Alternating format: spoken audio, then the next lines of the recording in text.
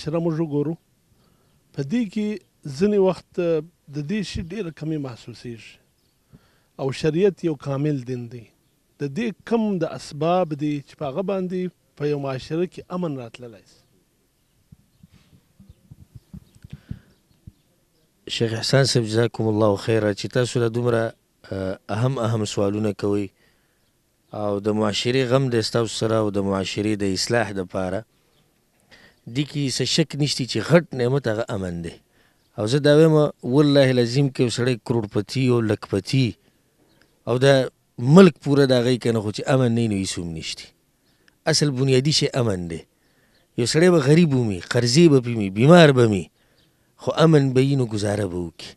خو چې امن نه وي نو په دې پیسو به څه وکړي او په دې روغ صحت به څه وکړي او په دې مال او په دې هر څه به څه وکړي زموږ په معاشره کې د امن د راتلو دپاره یو څو اهم اسباب ذکر کوم اګر که اسباب ډیر دي یو غټ سبب چې الله سبحانه وتعالی په قرآن کې ذکر کړی دی الذین آمنوا ولم يلبسوا ايمانهم بظلم هغه خلک چې ايمان يې راوړی دی یعنی توحید پکې پوره دی ولم يلبسوا ايمانهم بظلم او بیا دا خپل ایمان نه دی ګډوډ کړی د ظلم سره د توحید او ظلم مطلب شرک یعنی توحید سره شرک نه دی ګډوډ کړی اولئک لهم الامن وهم مهتدون الله وی دې خلکو له امن ورکو او د دې تفسیر په حدیثونو کې دي چې راغلی چې دلته د ظلم نه مراد شرک دی نو ددې نه دا خبره واضحه شوه چې کومه معاشره کې شرک وي هغه معاشره کې امن نه او شرک څه ته وایي یعنی د الله سره مخلوقات شریک کول په بندګۍ کې په عباداتو کې که هر قسمه عبادت وي د قبرونو له تله دې ته سجدې لګول د قبرونو والا ته رامدد شویل د هغوی دپاره نذرانې منښتې کول د باباګانو دپاره نذرانې منښتې کول دا تعویذونه استعمالول غیر الله ته چغې وهل د الله سره تعلق ختمول د غیر الله سره تعلق جوړول زمونږ معاشره شیخ احسان صاحب الحمدلله د ډیر حد پورې خده د توحید په دې مسله کې خو بیا هم بعض داسې علاقې شتي او داسې خلک شتي چې هغوی له د اوسه پورې په توحید باندې پوره نه دي رسېدلي حالانکه حدیث کې رسول صم دا خبره کړې ده دا شیخ احسان صاحب معروف حدیث دی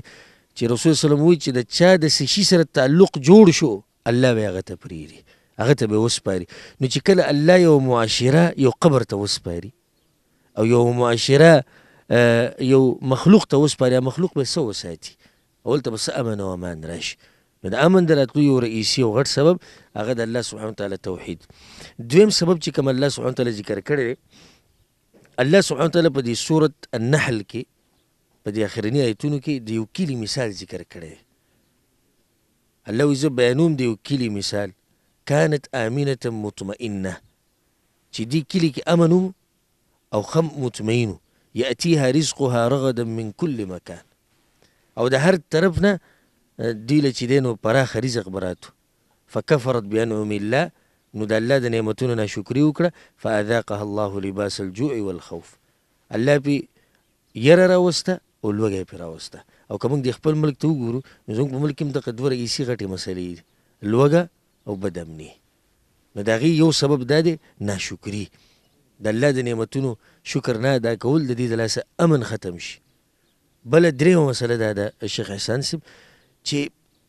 د مسلمانانو ته دا بیانول غواړي چې ګوره د دې مسلمانانو د الله په نس دی غټ مقام دی او حدیث کې دا راځي لزوال الدنيا اهون على الله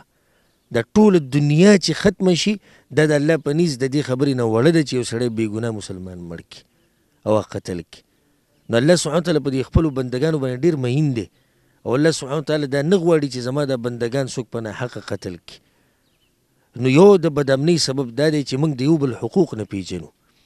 يو مسلمان رالږي شيخ احسان صاحب تاسو وګورئ چې يعني يو سړی په ميټر ځمکه باندې په يو انچ ځمکه باندې لګيا دی يو بل وژني. دا د کوم ځي دين شو؟ او څنګه به امن راشي چې موږ یو بل ته زړونه دومره بد دي چې په میټر مسله باندې په انچ مسله باندې موږ په یو بل پسې ټوپکې رالو دا معاشره د هغه وخته پورې په دې کې امن نشي راتلی چې څو پورې موږ د یو بل حقوق نه یې پېژندلي.